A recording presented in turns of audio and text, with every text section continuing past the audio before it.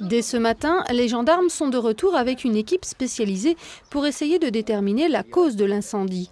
Des quatre voitures, il ne reste plus grand-chose. Tout a été très vite. Vers minuit, un locataire du camping a entendu des bruits d'explosion. Les pompiers arrivent à limiter la propagation de l'incendie au bâtiment, mais pour les voitures, c'est trop tard. La 205, eh ben, elle est morte. On ne peut plus en parler, hein. on ne peut plus s'en servir. On ne sait pas trop ce qui s'est passé exactement, mais bon, apparemment, ça serait la petite voiturette euh, derrière qui aurait pris pour propager le feu à droite et à gauche, et voilà. Les propriétaires des véhicules sont des locataires du camping. Ici, une quarantaine de studios sont loués toute l'année à des salariés ou ouvriers qui n'ont pas trouvé de logement à Poitiers.